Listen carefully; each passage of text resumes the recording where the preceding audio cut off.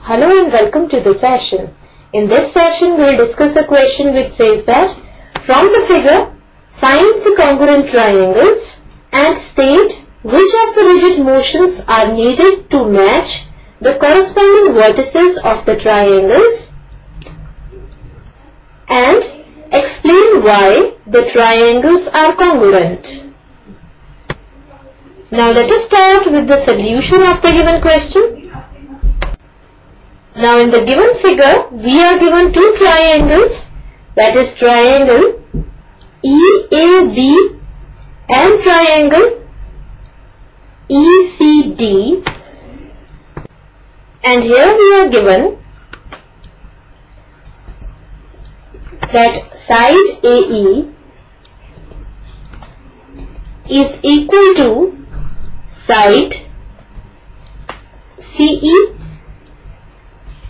and side BE is equal to side DE.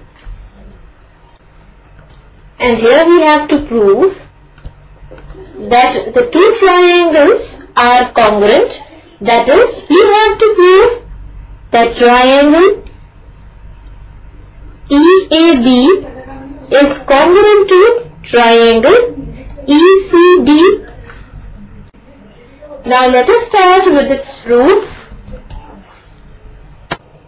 Now in triangle EAB and triangle ECD, side AE is equal to side CE that is line segment AE is equal to line segment CE and this is given and here angle AEB is equal to angle CED because they are vertically opposite angles so they have same measure. And we write angle AEB is equal to angle CED because they are vertically opposite angles.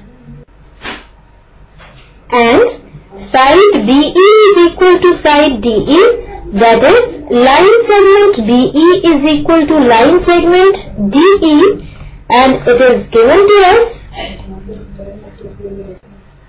Now, since the two sides and the included angle are equal for the pair of triangles, so by side angle side congruence, the two triangles are congruent so we write by side angle side that is by SAS congruence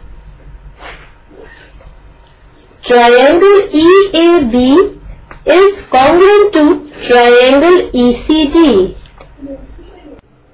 and now we find the rigid motion needed to match the vertices that is the corresponding vertices of the two triangles now, to match the corresponding vertices of the triangles, we rotate triangle EAB about vertex E.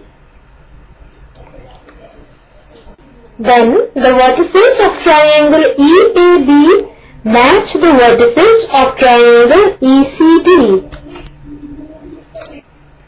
So, the rigid motion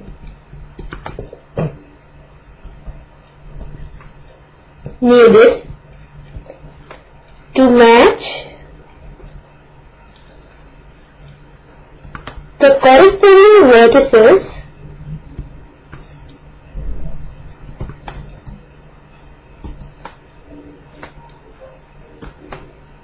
of the triangles is rotation. And this is the solution of the given question. That's all for this session. Hope you all have enjoyed the session.